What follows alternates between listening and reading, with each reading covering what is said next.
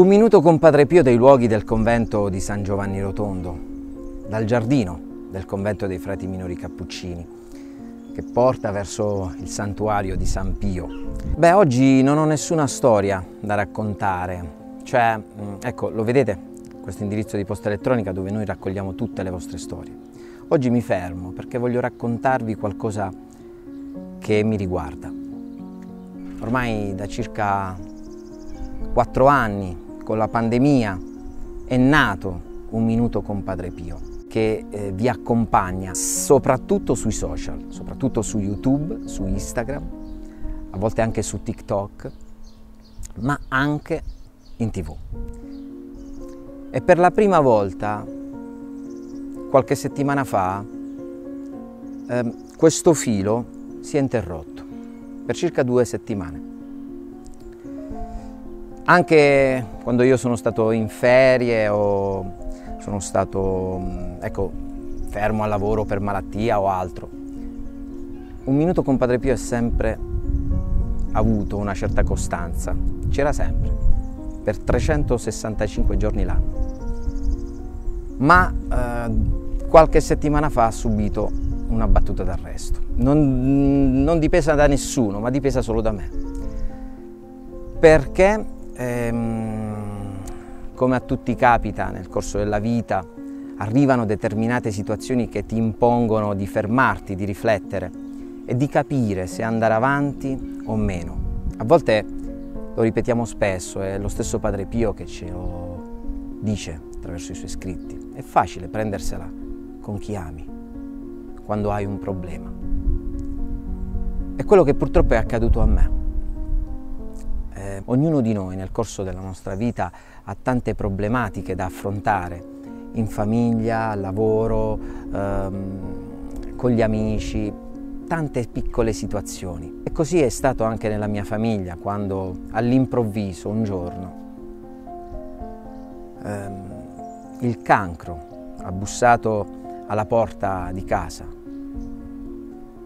la mia famiglia, mia moglie Simona che mi aiuta e mi dà una grande mano nel portare avanti questo piccolo programma, questa piccola rubrica. Allora già a fatica io portavo avanti eh, questa situazione, poi la goccia che ha fatto traboccare il vaso è stata quella in cui mi è stata rubata l'auto. È un piccolo problema rispetto al grande problema. E la prima cosa che mi è venuta in mente è subito dire stop mi prendo due settimane di ferie. In quel momento eh, io me la sono presa con Padre Pio. In quel momento io me la sono presa con il programma, a cui dedicavo mh, tante energie del mio tempo, per andare a divulgare ecco, il carisma, il messaggio di Padre Pio. Ecco, in quel momento è, la, è stata la cosa più semplice, prendermi dei giorni di ferie, bloccare il programma chiedere alla redazione di inserire delle repliche per la tv, ma bloccato per i social. Ecco, sui social per due settimane c'è stato un buco, non capitava dal 2020. L'auto che mi è stata rubata, mi, è stata restituita solo la scocca, cioè non esisteva più nulla, è stata cannibalizzata. E all'interno ho trovato solo i libri di Padre Pio proprio così. Avevo circa quattro libri di Padre Pio, uno dedicato a tutto l'anno, era un'agenda, un'agenda, un'agenda dove ogni giorno c'è una frase di Padre Pio. Tutto il resto è sparito, svanito. C'era anche qualcosa che, usava, che usavo per il lavoro.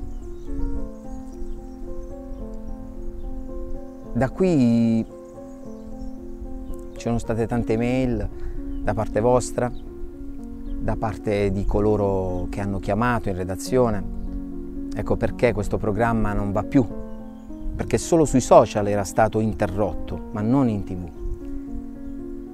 Una mail di qualche giorno fa che ci ha ringraziato ha ringraziato la redazione, ha ringraziato l'emittente per quello che facciamo sui social. Ecco, scriveva questa nostra amica, scriveva eh, sicuramente Padre Pio, come non amava ad esempio la televisione, non amerà anche i social, però i social quando vengono usati attraverso un buon utilizzo, sicuramente lui dal cielo apprezzerà questo lavoro che state facendo.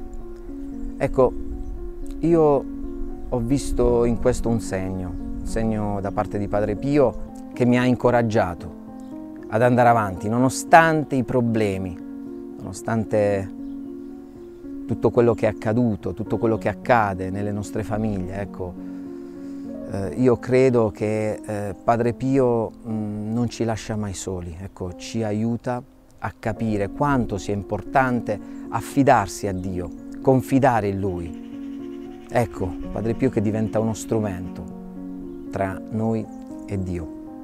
E Lui non ci lascia mai.